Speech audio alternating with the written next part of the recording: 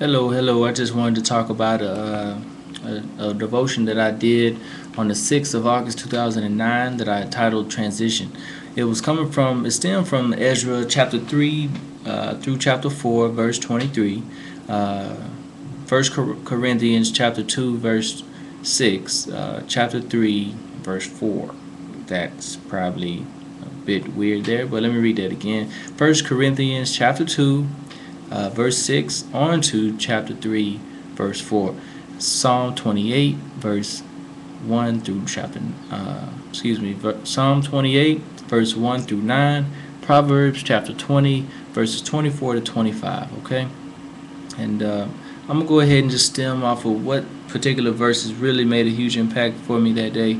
Um, actually, just one. The one scripture that stuck out above all the rest all the other verses there was um, 1 Corinthians chapter 2 verse 14. It says, But a natural man does not accept the things of the spiritual world, for they are foolishness to him, and they cannot understand them, because they are spiritual appraised. Outside of it being encouraged, excuse me, outside of, outside of it being encouraged, mandate, uh, mandatory by God for us to read His Word daily, I enjoy reading the Word because it is going to always have something within it that is going to refresh my thinking on a specific topic like the verse that I am uh, that I'm sure that I'm not going to forget because it holds so much weight and importance. And I'm gonna go ahead and read the verse again. It's 1 Corinthians chapter 2, verse 14. It says, But a natural man does not accept the things of the spirit uh, excuse me, the spirit of God, for they are foolishness to him and he cannot understand them because they are they are because they are spiritually appraised. Meaning one that is very natural one that is without God and the belief of it of God is spiritually appraised not willing to even con, con, uh, understand the spirit of God because it, seems to be so foolishness to him and uh, he can't even comprehend it. And I always wondered how is that a fact if if we're natural, should I say, out the womb and don't have any knowledge of God um, per se, and we are to become a Christian, that's just a question I'm throwing out there. Maybe I have the answer. Uh, I know the answer, but maybe the answer is going to be listed within here, okay? In this verse that I, in this um, posting on my website that I have available here, it says, the verse informs me that when I'm sharing God to another person, that it is considered to be a natural man, I mean, you know, a person that is considered to be a natural man, quote unquote, I have to allow God Himself to control the situation because I will be talking and talking and talking and talking, but the whole time He would be listening and possibly even agree with what I am sharing with him or her about God and not even totally want to take advantage of it and practice it within their own personal life and that's a waste of time. However, you know, by speaking about the truths and so forth about God and talking and talking and talking about uh, God to a natural person per se is somewhat going to have a nice effect on them when they reflect on, uh, you know, God within their life somehow. It's like, man, James did tell me about that, or man, that person really did bring up that, and then it all comes to uh, uh, come to play and they remember what you say. However, it's kind of like um, practice. You can only become better if you consistently practice in something. Now, you are considered practice when you bless someone with the truth or uh, the knowledge of what the Bible is explaining. That is considered practice for their life, and it's like a seed. It grows within them, and the tree blooms. Um, to use an example, but I got a better example, personal example. I was I was talking to someone for about three hours about God for a while. The, uh, the acknowledgement that he was uh, comprehending was there. Excuse me, the acknowledgement that he was understanding and comprehending what I was saying was there. The desire to change and the and the commitment seemed to be there. But days later, he didn't change a thing. Should that discourage me? At the time, it discouraged me deeply. About a year after, a year later, that individual who my natural who is my natural brother turned his life around 180 degrees and began to mature in specific areas note to self when God does his thing to change someone's life around, there isn't any confusion for the natural man that God is changing.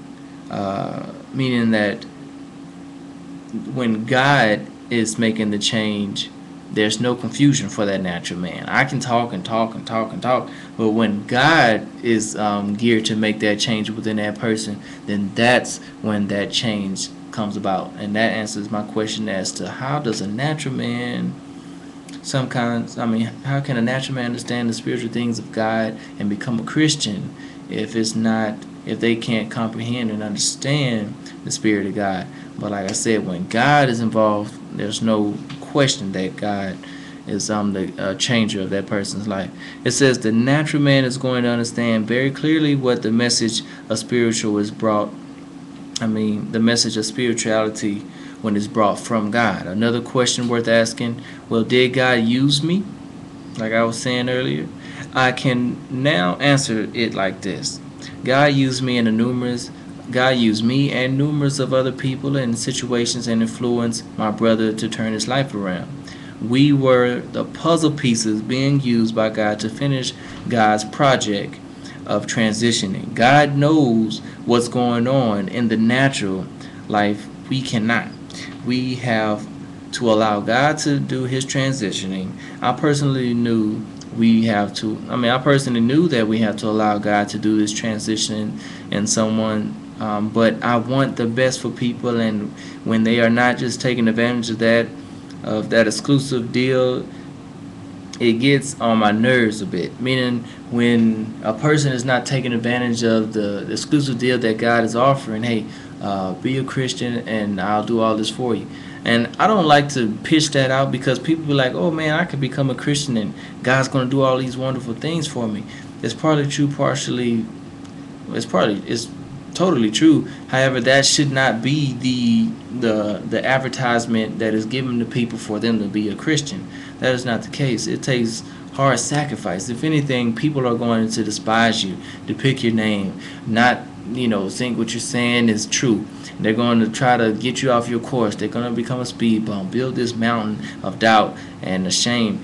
That is not the case. Consistently love God, and He will take care of the rest. Because a natural man can what is cannot comprehend the spiritual things of God. Only God can break that thing down for them and let them fully understand and grasp what's actually going to happen. I mean, what's actually happened. But it gets on my nerves when they don't take advantage of that exclusive deal. However, I have to take a step back and allow God to do His thing. Continuation, it says, when a person is not transitioning from natural man to spiritual man, I, self- I selfishly want to throw in the towel and give up on ministering and sharing God to that individual. But I found myself praying for God, I mean, praying to God about the situation versus speaking to the natural man, the spiritual things. I mean, about spiritual things, meaning I gave up on talking to that person as an individual and saying, well, this is this, this is that, this is what the Bible say, this is what God simply wants us to do, this and that. And boom, it was no change. Now, in my mind, I'm thinking it's going to be instant. Oh man, he's going to be on fire for God. Blah blah blah. He's going to be out there, you know, changing his life around. He's going to make it evident that he's going to make it evident that God got through to him and this and that. But that was my timeline. Like I said, God answers our prayers on His timeline. You have to be submissive to God and allow God to take care of what He needs to take care of. It says now, now I see why uh, uh, First Corinthians chapter two verse fourteen is so influencing. I mean, so uh, influential in my life here. All right. also, also when it comes to ministering to a natural man, your prayer, lifestyle, words, integrity, consistently, uh, consistency are involved as well. And I thank God for uh, adding value. Uh, God thanks uh, I'm praying this prayer. Sorry. God, thanks for adding value to people and keeping us encouraged about uh, discouraging situations, meaning keeping us focused on your outcome in, in the situation not be focused on our outcome and being selfish. Simply put, thank you, God.